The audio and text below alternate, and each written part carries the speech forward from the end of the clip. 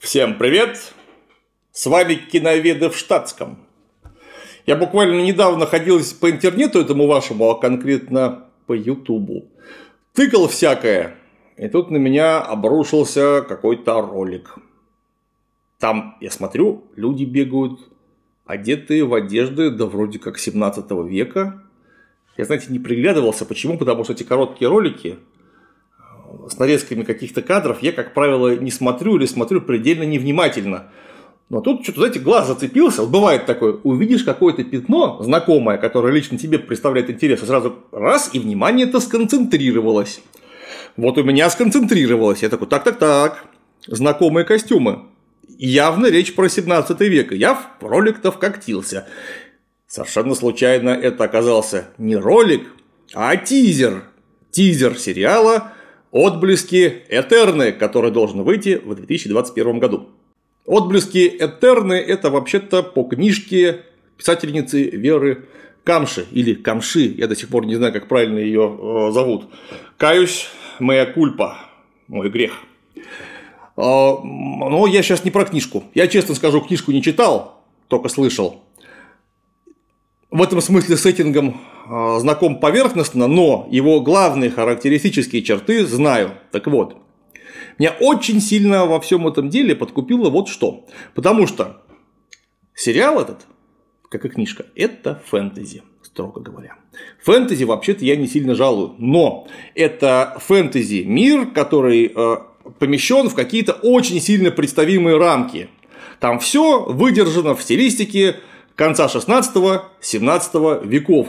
И я с удивлением обнаружил, что, во-первых, сериал не поддерживает фонд кино, сериал не поддерживает Первый канал, сериал не поддерживает вообще ВГТРК, там нет ни Константина Львовича Эрнста, ни каких-то других знаменитых а, фамилий, и среди актеров нет Данила Козловского. Я подумал, черт возьми, неужели парни сейчас сами будут что-то делать? И я стал смотреть тизер. И тизер мне, на удивление, я очень-очень редко такой термин употребляю, понравился. Представляете, я очень-очень-очень редко испытываю подобную эмоцию от отечественных тизеров. Мне тизер понравился. Потому что ребята совершенно честно, вот те, кто собираются снимать сериал, совершенно честно говорят, у нас тут вообще-то фэнтези, у нас тут не привязка к битве при Рок-Руа или, например, к осаде Смоленска во время смутной, э, смутного времени, во время войны с поляками. А у нас тут нет Ивана Грозного, дайте нам денег, потому что мы за патриотизм. Нет, это чистой воды фэнтези. Причем, судя по тому, что я увидел, фэнтези сделанное со вкусом. То есть, даже если в тизер смогли столько своего вкуса привнести, то, по крайней мере, в смысле внешнего вида это уже очень неплохо, что по нынешним временам большое достижение. Что я там увидел? Во-первых, все одеты в костюмы, которые являются очень неплохими стилистическими репликами вообще конца 16 17 веков. Причем, так как мир-то фэнтези, там нету какой-то очень четкой привязки, что вот, значит, это у нас середина 17 века, а вот почему-то парень в одежде конца 16 века, так между ними лет 70.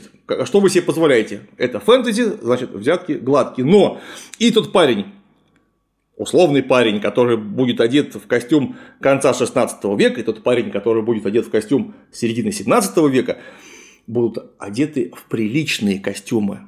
Они, если будут измазаны говном, так только потому, что у вас только что рядом взорвалась бомба из мортиры. И вот, пожалуйста, из поля боя вырвали 150 литров грязи и прямо обдали этого человека. Но было бы странно, чтобы он остался чистым, как Арнольд Шварценеггер в фильме «Последний герой боевика». Помните, когда он там в яму с мазутом упал, вылез весь такой некрасивый, говорит, салфеточка есть? И так так. Следующий кадр – сияющий Шварц.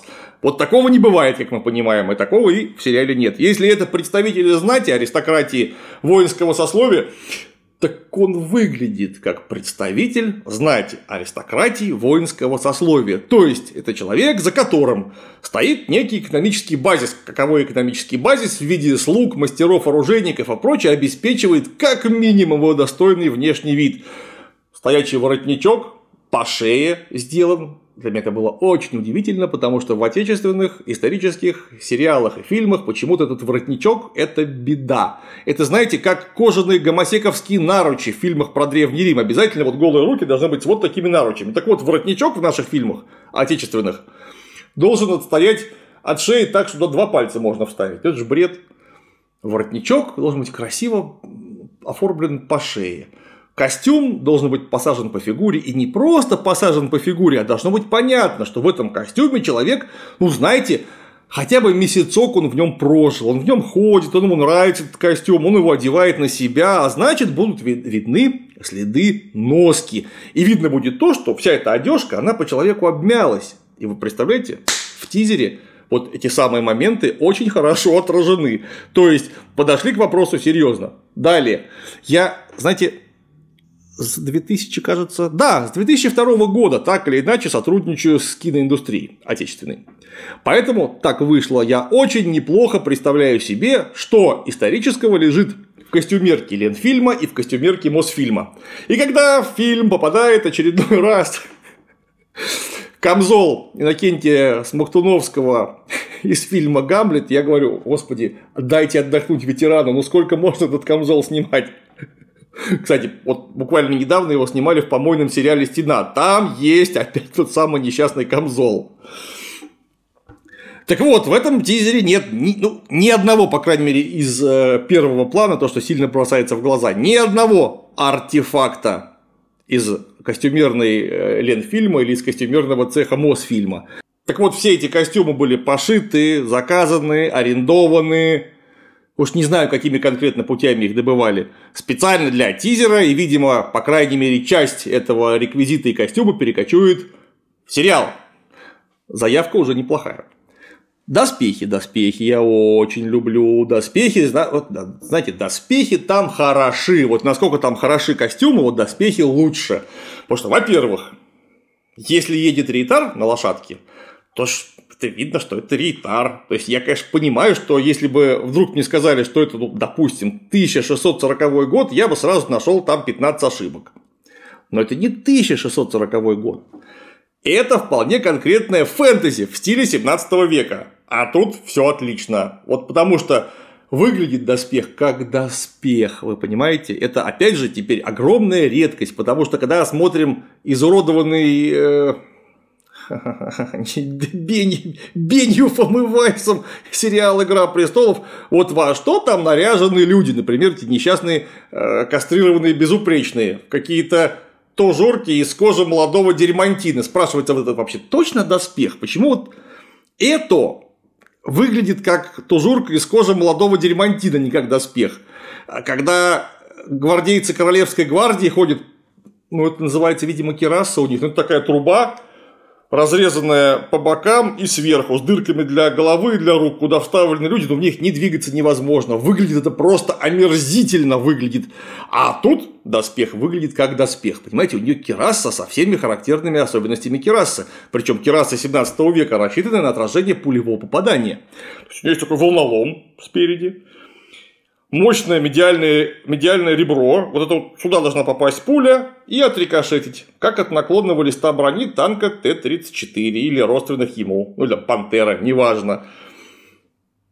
Кераса надета поверх горжета, горжету пристегнуты вполне нормальные наплечники, наручи, долокотники, перчатки на голове, шлем штурмхауп, он же бургиньот, и при седле два пистолета. То есть это рейтар, я когда вижу его, я верю. Да пускай он хоть 30 раз будет фэнтези. Я очень давно не видел, вот у меня глаз не отдыхал, понимаете, чтобы не нужно было плакать кровавыми слезами, а отдыхать глазом, чтобы, если едет ретар, то я знаю, кто это.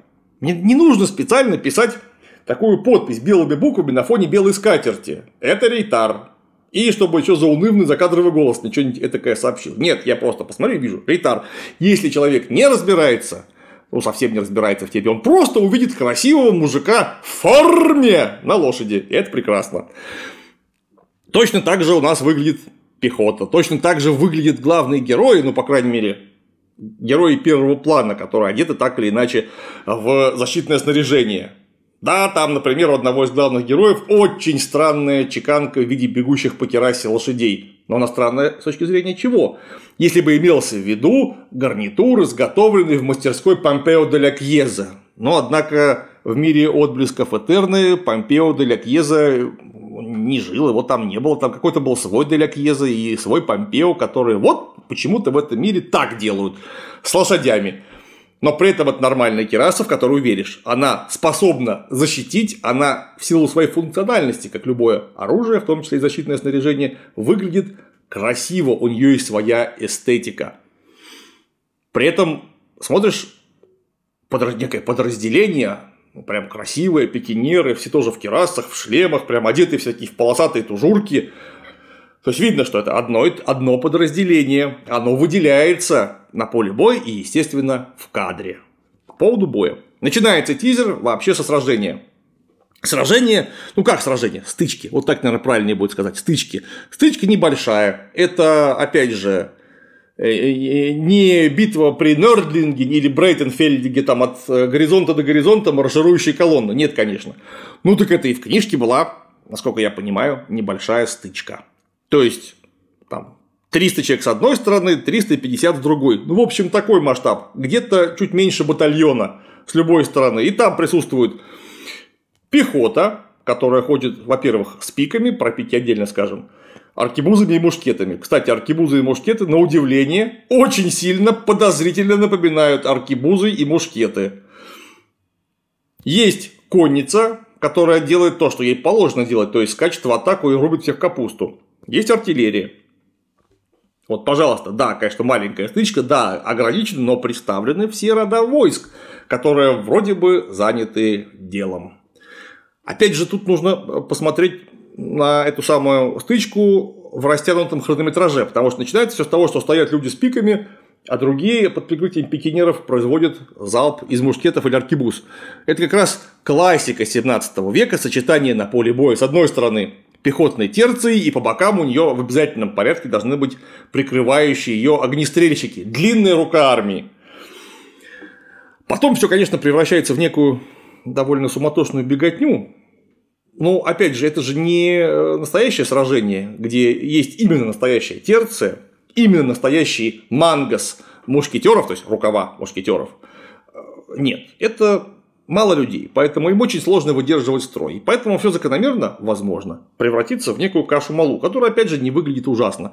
Э, просто почему? Да потому что значит, то, с чего я начал. Одеты люди с любовью, прилично, и без оглядки на какие-то абсолютно странные представления современных художников по костюму, как должен выглядеть человек э, в древности, неважно, в 17 веке или в 13 или в 10. Нет, тут есть вполне конкретные опорные данные. Эти конкретные опорные данные находятся в 17 веке, поэтому все основные персонажи, да и не основные тоже, выглядят так, как будто они к нам пришли из 17 века, просто какой-то чуть-чуть другой реальности, чуть-чуть другой планеты, может быть. Короче говоря, чего-то, что развивалось с нами ноздря в ноздрю, одинаково, под воздействием одинаковых э, общественно-экономических критериев.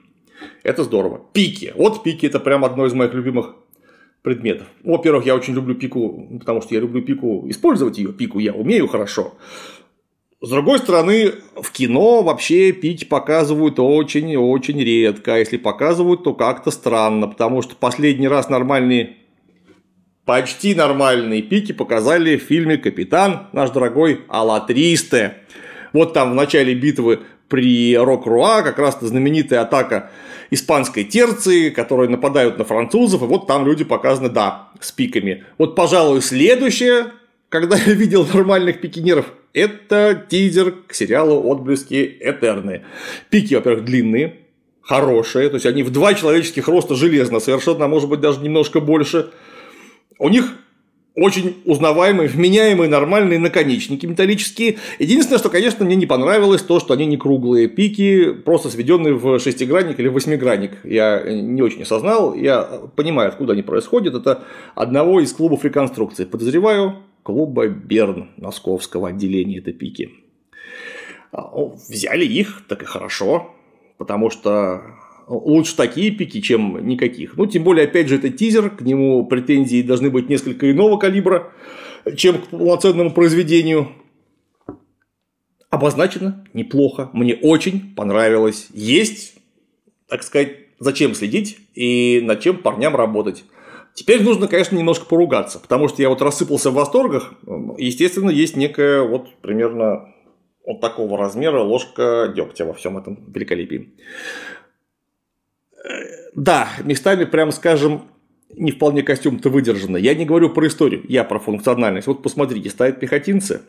Это пехота, ну, в полном смысле слова пехота, которая имеет свои функции, марш, совершение маневра и боевого контакта в пешем строю. Ну и, пожалуйста, тут же раз, и тут же стоит мужик в кавалерийских сапогах с кожаными подкладками под шпоры. А зачем пехотинцу, мне интересно, кожаные подкладки под шпоры вообще? Зачем ему сапоги? Ну, сапоги тяжелые, в них очень трудно заниматься чем? Маршировкой. Если мы имеем в виду 17 век, так пехота всегда ходила в ботинках. Более того, пехота ходила в ботинках вплоть до середины 20 века, до тех пор, пока не изобрели кирзу. Почему? Да потому что сапог большой, на него уходит много кожи, а значит он очень дорогой. Ну а пехота – это всегда люди не самого большого достатка, зачастую обеспечиваемые с некоего склада. Обеспечить вот все это быдло чем? Сапогами? Да вы в своем уме, это же дорого. Зачем? Тем более, повторюсь, в ботинках маршировать удобнее, они легче. Вот такой недостаточек. А, важный, на мой взгляд, даже недостаток, особенность. И, видимо, особенность не будущего сериала, а конкретно тизера. При великолепно красивых шпагах, такие эти испанские вердуго, очень здорово прям сделанные, я уж не знаю, кто их делал, выглядит классно. А вот фехтование этими шпагами, ну, оно, да, оно, фехтование и такими огромными буквами сценическое, то есть даже имитации боя там не видно вообще. Я уже не говорю имитации боя в стиле 17 века. Там даже имитации боя не видно. Это просто балет на льду, песке, грязи, что там траве, что положено, э, с ну, металлическими предметами, напоминающими холодное оружие в руках. Все, не более того. То есть, э, этот балет вообще, на мой взгляд, кинопроизведении современного хорошего уровня лучше бы, конечно, не показывать. Лучше бы оно выглядело немножко по-другому. Все эти красивости к чертовой матери не нужны. Парни, если вы посмотрите мой обзор, совет.